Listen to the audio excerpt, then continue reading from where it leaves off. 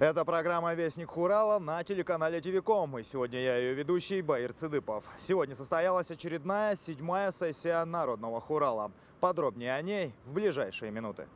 В начале сессии Ринчей Матханов напомнил, что забывать большие заслуги спортсменов не стоит. Совсем недавно исполнилось 30 лет, как наш земляк и борец Борис Будаев стал чемпионом мира – во всех регионах такие праздники отмечаются прилюдно вообще. У нас прошло тихо, мирно и совсем без, скажем так, такого освещения.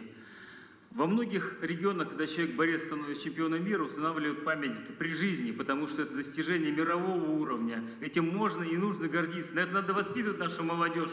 Что мы видим у нас? В Дагестане есть аллея борцов великих. Поддержал Манханова и Игорь Марковец, однако отметил, что вопрос требует детального рассмотрения. Вот этот вопрос он давно рассматривался по созданию такой аллеи э, выдающихся людей, внес большой вклад в развитие спорта Республики Бурятия. Если бы у нас сейчас вот на, к чемпионату мира такая аллея была, вот на ФСК в свое время она планировалась, как бы здорово было сейчас, когда спортсмены из 75 стран которые сейчас приедут к нам в республику, шли бы, смотрели и видели, какое отношение здесь в республике Бурятия идет к выдающимся людям, кто внес большой вклад в развитие спорта. Это ну, должны быть люди с разных видов спорта, с различных видов спорта, которые на самом деле многолетним большим трудом, такие как и заслуженные журналисты, как вот Борис Васильевич Мироманов. То есть это было бы, конечно, бы такое очень серьезное, красивое лицо нашей республики Бурятия. Далее народные избранники заслушали решение суда по делу отставки Мунко Буентуева. Его признали виновным в контрабанде леса в Китай. Приговором суда Буентуев признан виновным в том, что он, являясь генеральным директором и единственным учредителем ООО «Байкал-лес», в период времени с 28 апреля по 18 июля 2014 года путем недостоверного декларирования осуществил незаконный вывоз с таможенной территории пиломатериалов хвойных пород в Китайскую Народную Республику общей стоимостью более 6,5 миллионов рублей. Согласно части 2 примечания к статье 226 УК, крупным размером стратегически важных ресурсов признается их стоимость, превышающая 1 миллиона рублей. Кроме того, осуществив экспорт вышеуказанных пиломатериалов, Буинтов не выполнил обязанности по репутации денежных средств по внешнеторговому контракту на сумму более 19 миллионов рублей, то есть достаточно крупном размере. Буинтуев Мунко Александр Асурдин по статье, по части 1 статьи 193 УК РФ к штрафу в размере 250 тысяч рублей на основании статьи УК статье 78 УК РФ он, однозначно наказанием освобожден в связи с истечением срока давности. Буентуева приговорили к трем с половиной годам лишения свободы условно. В Бурятии создадут специальный жилищный фонд для детей-сирот. Эта тема вызвала живую дискуссию, особенно выделение ипотечной корпорации Бурятии почти 30 миллионов рублей. Я вообще считаю, что концептуально неправильно поставленный вопрос. Как возникает эта проблема, обязательно нужно сделать так, чтобы какой-то государственный орган решал, или там государственная корпорация решала вообще. Я думаю, что в плане развития среднего и малого бизнеса надо было наоборот, заинтересовать этот бизнес. Отделка квартир – это не дело корпорации, это дело малого и среднего бизнеса. Возможно, добавить какие-то дополнительные там, деньги, субсидии, заинтересовать, чтобы малый и средний бизнес занялся этим, а не очередная корпорация, которая и так живет неплохо, занималась бы детьми-сиротами. Конечно, сейчас все пройдет, мы только за, то, чтобы дети-сироты получили свое жилье, но методика подхода, она, конечно, в корне неправильная. Это значит, хоть есть вопрос, надо просто закидать вопрос деньгами для того, чтобы он решился.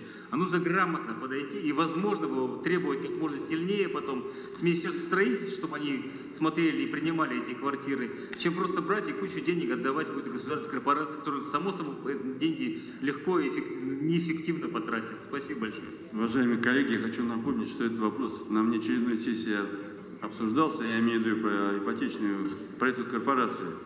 И ни один частник, никто не зайдет э, туда, на этот бизнес, потому что там пять лет надо содержать квартиру и ремонт делать, учитывая особую категорию квартиросъемщиков, поэтому и правительство пошло по такому пути. Предлагаю дискуссию предлагаю, э, прекратить и поддержать данный законопроект.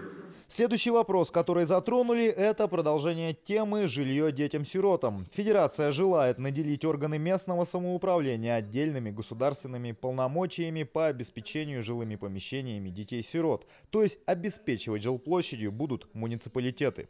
Принятие законопроекта позволяет и позволит обеспечить эффективность управления жилищным фондом, надлежащую эксплуатацию коммунальной инфраструктуры и предоставление коммунальных услуг надлежащего качества. Важно отметить, что передача жилых помещений, имеющихся спецжилфонда, будет осу- осуществляться на основании решения о передаче жилья со стороны правительства Республики Бурятия и решения уполномоченного органа местного самоуправления о приеме жилого помещения в муниципальную собственность. Непригодное для проживания жилье органам местного самоуправления будет передаваться только после приведения его в соответствие. Для осуществления передаваемых полномочий в проекте закона предусмотрены расходы из республиканского бюджета на администрирование в размере 9,2 миллионов рублей и включают а, 7,3 миллиона – это на 17,6 ставок по сравнению с первым вариантом. Мы увеличили ставки на 10 ставок. На материальные затраты на специалистов, на содержание до, для, до заключения договора найма а, 411 тысяч, на взносы на капремонт не на первичном рынке, на вторичном рынке, на э, сумму 458,3 тысяч рублей. Проект поддержан правительством Республики Бурятия, рассмотрен на заседании комитетов Народного Хурала и поддержан в основном депутатами в первом чтении. Законопроект вызвал вопросы у некоторых депутатов. С самого начала, со дня, вот, как закон э, ввели, э, муни- муниципалитеты стояли в стороне. А вообще это государственные полномочия. Государство обеспечивает жильем детей и сирот. А сегодня вот стал вопрос действительно му- по муниципалитетам. Мы же понимаем, вопросы водоснабжения, теплоснабжения, от них никто не уходил, но поскольку полномочия были записаны на Министерство э, социальной защиты, на э, Министерство строительства и ЖКХ и так далее. Но сегодня вот в какой-то мере, я еще раз говорю, вопросы будут очень сложные. Главы вообще, честно говоря, я со многими разговаривал, они не хотят. Но нас заставили, надавили. Вообще вот надо было задуматься вот, Александрович, субъектах. Я услышала ваш вопрос. Да. Я сама была главой района. Да, и вы были субъектах. главой Вы меня района. выслушайте, пожалуйста. Я вас Да. не перебивал, Татьяна Александровна. Выслушайте, пожалуйста, я прошу вас. Хорошо. Татьяна Александровна, а в скольких субъектах вот такая практика уже принята? И есть лучше в, это, в практике субъектов России, где мы изучали, вы изучали, э, лучше, вот, что люди нашли подходы от э, других субъектов, Подмосковья и так далее. Поэтому я хотел бы вот узнать, где лучше и где какая практика доказала жизненность. Вот это интересует меня. Спасибо. Хорошо, спасибо, Валерий Самсович. Просто я хотела сказать, что когда мы с вами были главами, мы решали вопросы независимо от формы собственности, да? Лишь бы людям было хорошо на месте, на местах а, проживания. Значит, на сегодня из 82 субъектов Российской Федерации 55 субъектов уже лет 5 назад передали полномочия на уровень муниципалитета. Для чего? Для того, чтобы оперативно, быстро и качественно э, реагировать на все вопросы, а, которые возникают в этом спецжилфонде. У меня 7 специалистов на всю республику, они не наездятся. А мы передаем сегодня, э, просто оторвали еще от себя 10 единиц, это учреждение «Семья», и передали муниципалитетам для того, чтобы они на местах регулировали все эти вопросы. Заключали договора. У нас все, в каждом муниципалитете есть отдел жилья. Правильно? База формируется э, детей-сирот тоже в муниципалитете. А мы с ними просто потом уже их соотносим в единый сводный список. Поэтому здесь вот какой-то такой большой глобальной проблемы я не вижу, например. Это будет, наоборот, более качественно и более эффективно. И тоже вопрос инфраструктурного порядка, а, водоснабжения, водоотведения, теплоснабжения. Это же можно быстро и качественно. Мы почему-то сирот отделяем с вами от всех жителей Республики Бурятия. Это нельзя делать. Это наши жители. Поэтому, как главы работали на месте, вот Селенгинский район, он- всегда без проблем реагирует. Другие районы тоже. Есть у нас районы, которые просто не хотели этим вопросом заниматься. Мы получили с вами коллапс. Вот и все. Я думаю, что это будет более качественное отношение к нашим подопечным. В итоге законопроект приняли в первом чтении, поправки и доработки ко второму будут внесены. Еще одна важная тема, которую затронули депутаты, это деятельность такси. Вопросы вызвали решение о необязательном желтом цвете. Сегодня большинство городских таксистов отдают лицензии и уходят в тень. Сегодня мы не говорим об отмене желтого цвета, да, а, но это вынудило наших а, в городе да, вот, а, предпринимателей а, уйти, наверное, ну, мы их отправили вот в тень. То есть они сегодня пытаются отдать свои лицензии, то есть они уже машины простаивают. То есть сегодня а, такая сложная ситуация, конечно. Да, в районах результат есть после отмены желтого цвета, да, но в городе, конечно, очень плохо все.